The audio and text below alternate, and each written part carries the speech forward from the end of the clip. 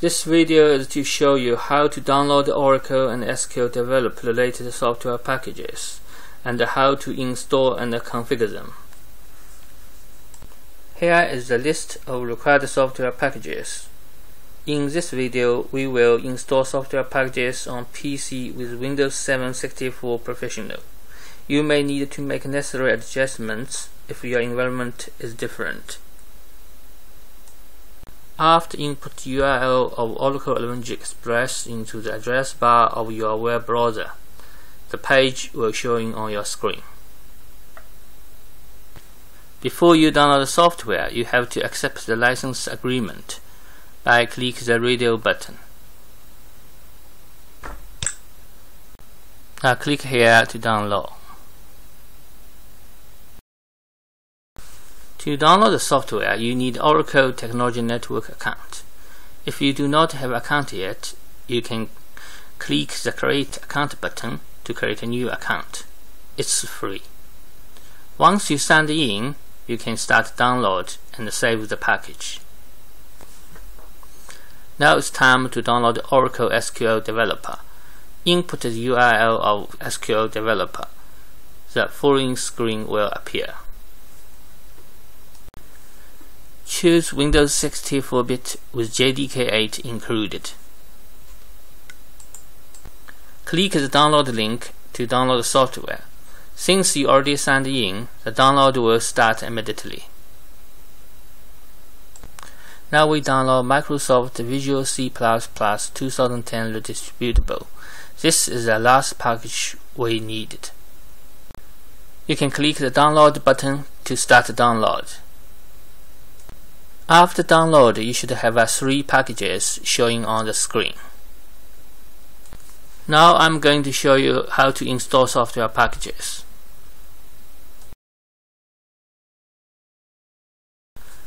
We will begin to install Oracle database. The packages we download is a zip file, so we have to unzip it first. After unzip the file, you will find a folder called disk1 you can click on it to open the folder. Inside the folder you will find a setup file. You can double click the file to start installation. A welcome window of installation wizard will appear. You can click next to continue. Choosing destination location window will give you opportunity to install software in different location. Unless it's necessary, I will recommend you to install in the default place. In specify database password window, we can give password to sys and the system account. For simplify, we will use Oracle is the password. In the summary window, we'll show you the installation settings. If you are happy with it, you can click next to install the software until it's finished. After installation, the database start icon will show showing on the desktop. To use the database, you have to restart the Windows. Database will automatically start once the Windows have been restarted.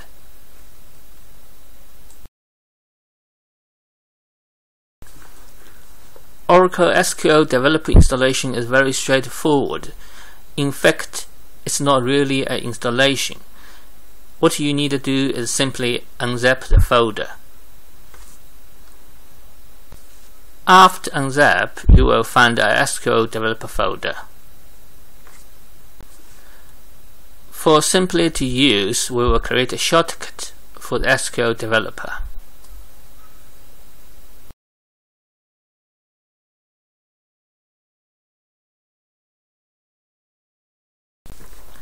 To run the SQL developer, we can click the icon we have just created. To avoid the box coming every time, you may uncheck Always Ask before opening. Now you can click the Run to continue the application. If you are lucky, your SQL developer will be run straight away. However, most of you will receive the error message showing on screen. The error is caused by missing of one DLL file, which belongs to Microsoft Visual C++ 2010 redistributable. To address the issue, we need to install the package. The software package is one of the files we downloaded earlier. To install the software, you may double-click the file. The installation process is very straightforward. You may click Next till to the end. Now you can double-click SQL Developer icon to start Oracle SQL Developer, and the startup screen will be showing.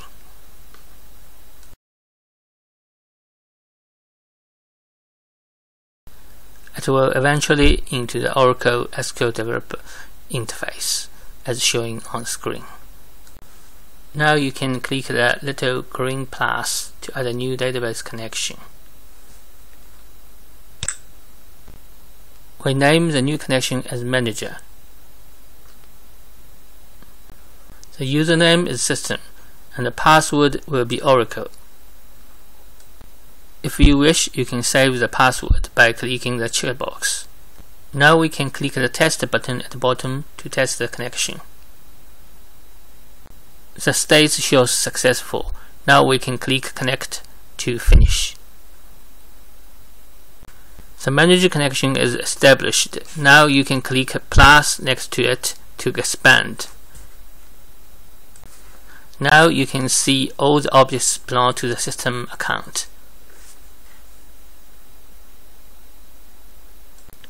To simulate Oracle working environment, such as universities, we have to configure the software. In the following configuration, we assume you have account username ABC356 and the account password will be ABC356EG and Oracle TNS name EDEN01. To create the account, we right-click on Other User, then continue click on Create User in the system account we connected in the previous. Type username ABC3456. Type password ABC3456EG. Type the same password again to confirm the password. Click on Default Table Space. Select Users as default table space. Click on Temporary Table Space. Select Temp as temporary table space. Click Grant Roles tab on the top. Ground Connection Role. Set Connection Role as default. Ground Resource Role. Make resource as a default. Click on Quotas tab on the top. Allocate users unlimited quotas. Click on SQL tab to verify the settings. Here is a list of SQL statements for creating new user ABC3456. Now you can click apply and then click OK to complete the setting. Click the green plus to make a new connection for the user we just created. Type learning as a connection name. Type ABC345 as username. Type ABC345EG as password. Click the checkbox to save the password. Click the test button to test the connection. It's successful. Click connection button to make a new connection. The new connection is ready to use. Now we're going to configure TNS name to simulate a working environment. Click on local disk C, you will find Oracle XE folder. Click on the folder. Continue click on App folder. Continue click on Oracle folder. Continue click on Product folder. Continue click on 11.2.0. Continue click on Server. Continue click on Network. Continue click on Admin. Now you will find the TNS name file in the folder. Double-click the file to open the file in the Notepad. Here is the default settings. Copy the XE setting.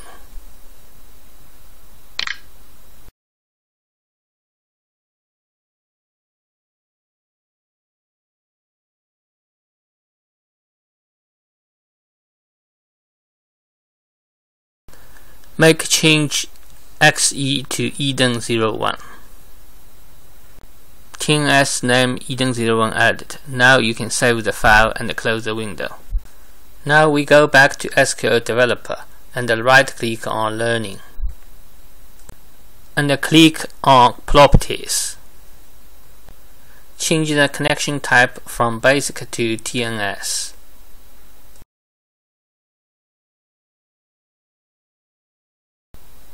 Click Network Alias. You will find Eden01 and select it. Click the Test button.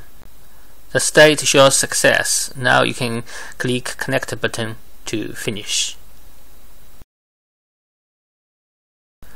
Now the learning connection is updated. It will be the same as the working environment. Mission accomplished. Thanks for watching.